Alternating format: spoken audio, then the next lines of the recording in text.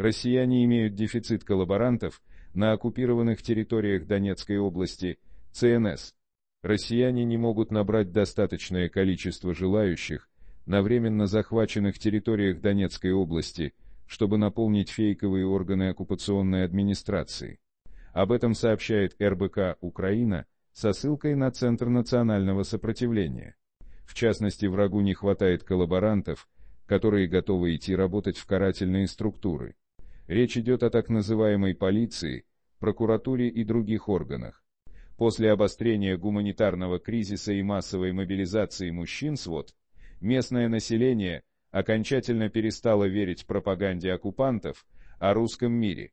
Города выходят из-под контроля россиян, а для стабилизации ситуации правительство РФ приняло решение командировать работников МВД, а также ФСБ и прокуратур.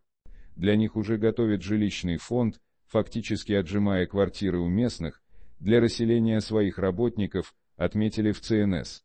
Командировки будут на ротационной основе, а работники будут получать премии и статус участников, так называемой СВО.